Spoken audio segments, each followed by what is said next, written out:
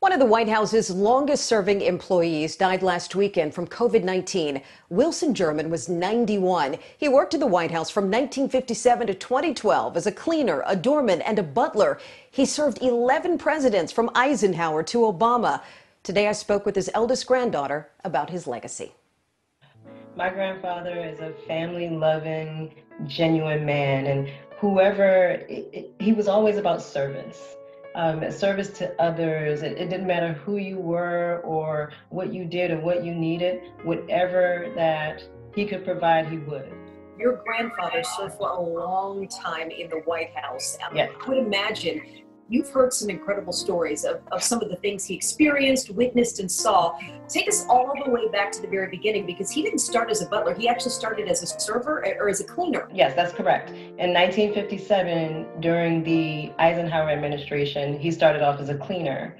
And it wasn't until the Kennedy administration um, when he built relationships with President and Jackie O um, that Jackie O actually promoted him to a butler uh, because of the relationship. She was instrumental in ensuring that that happened. So when Bush Sr. Uh, became president, moved his family into the, the White House, um, George Bush Jr. had some a little bit of trouble adapting to a new environment and some trouble sleeping. Well, my grandfather would actually sit with him in his bedroom and, until he fell asleep. Were you guys surprised to see his picture when it popped up in Michelle Obama's book? Yes. yes. And I want to say thank you so much, so much to Michelle Obama for including him uh, in her book. You know, just considering that we aren't able to grieve normally physically together, that is one way that we are able to still feel connected uh, to his success and connected to so much that he promoted around authenticity and building relationships and which equals building trust. I want the world to remember my grandfather as someone who is really authentic. Always in always being yourself.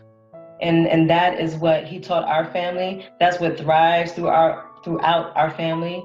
And that's what we will continue to carry on throughout his legacy. We will carry it on and we will keep pushing forward. And he always taught us that. He always taught us that there will be obstacles in your life. Always. They they will not disappear. It doesn't matter your status. It does not matter your role or what you do there will always be obstacles, but you keep pushing forward. What an incredible life and legacy. Mr. Jerman lived in D.C.'s Petworth neighborhood. Jim, get this. He and his wife and children, his wife, they had five children, 12 grandchildren, and 18 great grandchildren.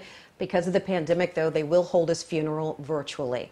I mean, incredible legacy. It's amazing the, the history that he was a part of over time. And and you know, just imagine, you could tell how proud his, his, granddaughter was to just share the story because that, that is part of her family's legacy that he leaves. So, so Mr. Jerman, uh, uh, what, what, a, what a great legacy he leaves behind.